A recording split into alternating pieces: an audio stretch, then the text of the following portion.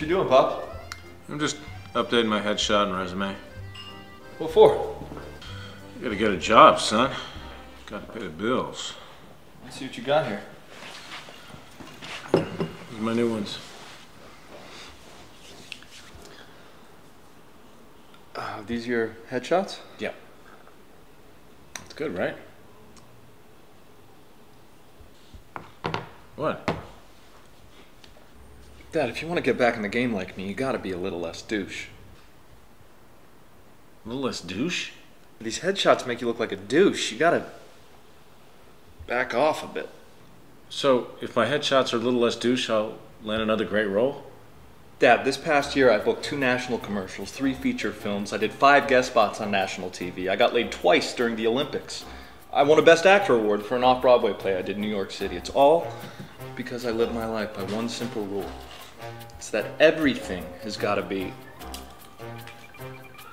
a little less douche. a little less douche.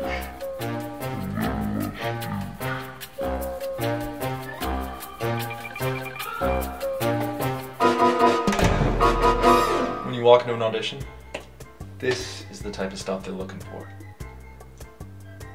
A little less douche.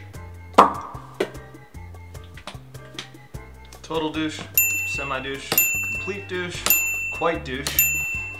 That's perfect. A little less douche. Why? Dad, that's a question a douche would ask. Sitting shotguns douche.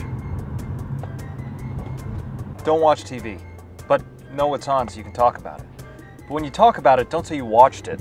Just act like you know. Got it. No TV, a little less douche.